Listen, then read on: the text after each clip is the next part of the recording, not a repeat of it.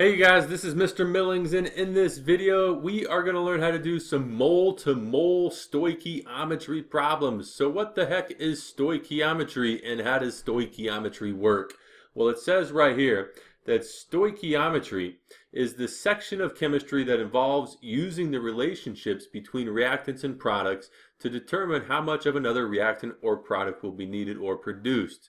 In Greek, the term stoichion means element and metron means measure, measure. So literally, stoichiometry means the measurement of elements. So in stoichiometry, what we're trying to do is we are trying to use the relationships that we see in a chemical equation to determine how much of something else in that chemical equation will either be needed or will be produced.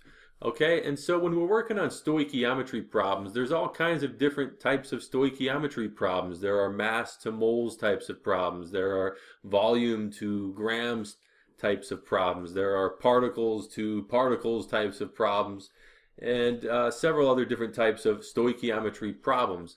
And so if you just take a, a few moments to familiarize yourself with this little flow chart here, then stoichiometry should be fairly simple for us. Okay, so this little chart will be your lifeline throughout this entire unit of stoichiometry. And so uh, I would have this out in front of you and, uh, and ready to go. In fact, what I would do is I would pause this video at this juncture in time and open it up in a separate tab. So that way you have this right here as we start working on some stoichiometry problems.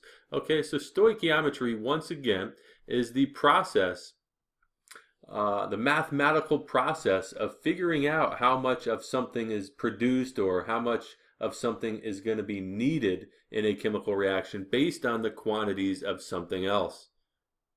For example, let's take a look at this little uh, example right here. It says if 35 grams of hydrochloric acid reacts with 50 grams of sodium hydroxide, then how many grams of sodium chloride will form? So in this little question right here, we have uh, we, we have a lot going on and it's all based off of this chemical equation that we see right here. Hydrochloric acid reacting with sodium hydroxide to produce uh, sodium chloride and water. And in this problem here, what this is asking is if you have 35 grams of this stuff, if you have 35 grams of this stuff right here, and you have 50 grams of this stuff right here, then how many grams of this stuff will be produced? So there's a couple different ways that we can figure this answer out. We can go into the laboratory and we can measure out 35 grams of hydrochloric acid and we can measure out 50 grams of sodium hydroxide using a scale. We can perform the chemical reaction and then we can boil off the water and then we can measure out the amount of, of sodium chloride that was produced on a, on a scale as well and that will give us an answer. And that's called the actual yield or we can calculate what is called a theoretical yield using a process called stoichiometry. We can use a mathematical process to figure out how much table salt will be produced if we react 35 grams of hydrochloric acid with 50 grams of sodium hydroxide. And this little flow chart right here uh, just helps us and aids us in doing this type of problem. For example, uh, the two known substances are in grams and the unknown substance we want to figure out is in grams over here. So we'd have to run this process through this little flow chart and an answer would spit out over here. Okay, so let's uh, let's take a look at some of the steps that are involved in stoichiometry and then let's apply this flow chart to several different types of examples. Okay, so what we're looking at right here is just a few steps when you want to perform mole-to-mole -mole stoichiometry problems. When you uh, the known quantity is expressed in moles and the unknown quantity you want to express in moles. Here are a few steps that you should follow. I would pause this. I would open up in a separate tab again and use these steps to, to work on the example problems that we're going to do. However, it says step one here is to correctly write and balance the chemical equation. Then we're going to determine the known quantity. And then we're simply going to multiply by the mole ratio. And then we're going to provide our answer using the correct number of sig figs and then we're going to attach the correct unit to our answers. So here are some basic steps that you can use when doing these types of problems. So now let's use this little flow chart and let's use this uh, uh, these steps right here to solve several different types of problems. Okay, in this first example, it says how many moles of sodium chloride can be produced from 3.2 moles of sodium and an excess of Cl2 gas. Okay, so if we read this question, we have a chemical reaction right here. Sodium is reacting with chlorine gas to produce table salt or sodium chloride. And in this problem here, it says that we have 3.2 moles of this stuff here and that we have an excess. An excess just means that we have a lot of this stuff, a lot of this stuff that's not going to run out. And so what we want to figure out is how many moles of this stuff here will be produced if 3.2 moles of sodium reacts with an excess of chlorine. How many moles of this stuff will be produced? All right, so the first thing that we have to do when we work on stoichiometry problems is to balance our chemical equation. And we learn how to balance chemical equations in another video. And if you forgot, you can go ahead and click that little card that just appeared in the top right corner and, and review that video and uh, understand how to, to balance a chemical equation. But essentially, we have two chlorines on the left, now we have two chlorines on the right, we have two sodiums over here, and now we have two sodiums over here. So our chemical equation is now balanced. Now what we need to do is start with our, uh, our known quantity. In this problem here, we have 3.2 moles of sodium so that's the starting stuff. And next thing we're going to do here is using our balanced chemical equation, we're going to come up with a mole ratio. The mole ratio consists of two parts. The known quantity is going to go on the bottom of our mole ratio. So the known quantity will go on the bottom, and the stuff that we're trying to find, or the unknown quantity, will go on top. So what do we mean by that? Well, in our mole ratio right here, we're making a comparison between two things. We're comparing the stuff that we're trying to find to the stuff that's given to us, or the known quantity. So if we take a look at our balanced chemical equation, what this is telling us is that for every two moles of NaCl that are produced, you're going to need two moles of sodium over here on the reactant side. So our mole ratio here will be two moles of NaCl over 2 moles of Na. And now take a look at what happens. This unit on top is going to cancel with this unit on the bottom. And so when we take 3.2 times 2 over 2, you guessed it, we will end up with 3.2 moles of NaCl. Okay, so if we have 2 moles of sodium reacting in this chemical equation with an excess of chlorine, it's going to produce 3.2 moles of sodium chloride. Let's take a look at another one. All right, in this second example, it says if 0.75 moles of aluminum reacts with an excess of iron 2 oxide, then how many moles of aluminum oxide will be produced? So first thing that we have to do is balance our chemical equation and we have two uh, aluminums here. We're going to have three uh, iron 2 oxides. We're going to have one aluminum oxide, and we're going to have three irons over here. Okay, so if we read this question, it says we have 0.75 moles of aluminum. And what we're trying to figure out is we want to figure out how many moles of aluminum oxide will be produced if we have an excess of this stuff reacting with 0.75 moles of aluminum. So the starting quantity here, after we're done balancing the chemical equation, our starting qu quantity is 0.75 moles of aluminum.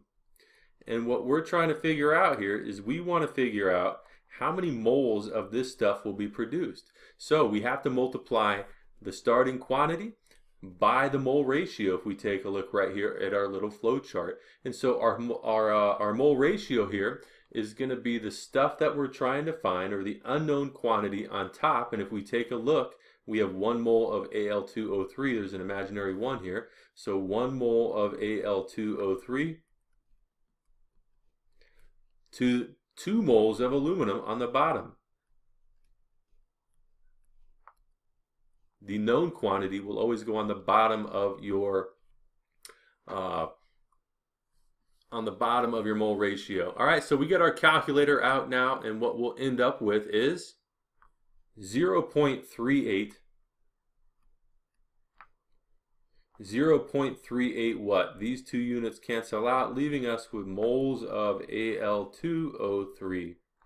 So in this problem here, if we have 0.75 moles of aluminum reacting with an excess of this stuff, it's going to end up producing 0.38 moles of aluminum oxide. Let's take a look at another example. All right, in example three here, let's read this. It says in the reaction below, if 1.3 times 10 to the negative third moles of sulfuric acid reacts with an unlimited amount of aluminum hydroxide, then how many moles of water will form? So if we read this question here, it looks like we're starting off with 1.3 times 10 to the negative third moles of sulfuric acid. That's this stuff right here. So we have 1.3 times 10 to the negative 3 moles of this stuff here. And what we want to figure out is if this stuff reacts with an excess amount of this stuff right here, then how many moles of water will be produced? We want to figure out the amount of moles of water that will be produced. So the very first thing that we're going to have to do is balance our chemical equation. So let's go ahead and do that. And it looks like we're going to end up with a 2 here, a 3 here, a 1 here, and a 6 here. So our chemical equation is now balanced, and so the starting quantity, or the known quantity, is going to be 1.3 times 10 to the negative 3 moles of H2SO4. And so what will our mole ratio be in this problem here? The mole ratio consists of two things, the stuff that you're trying to find compared to the stuff that's given. So if we take a look, we have 6 moles of water. That will go on top. And we have 3 moles of H2SO4. So when we get our calculator out and take 1.3 times 10 to the negative third times 6 divided by 3, we will end up with 2.6 times 10 to the negative third. Let's see what unit moles of H2SO4 on bottom and top are going to cancel out, leaving us with moles of water, which is what we were trying to find. So in this problem right here, if we have 1.3 times 10 to the negative third moles of sulfuric acid reacting with an excess of aluminum hydroxide, it's going to end up producing 2.6 times 10 to the negative third moles of water. Let's take a look at another example. All right, in this fourth example, it says how many moles of carbon will be produced from 4.5 moles of C10H16 and an excess of chlorine gas. So in this problem here, if we read it carefully, we have 4.5 moles of this stuff right here. So we have 4.5 moles of this stuff right here reacting with an excess of this stuff right here.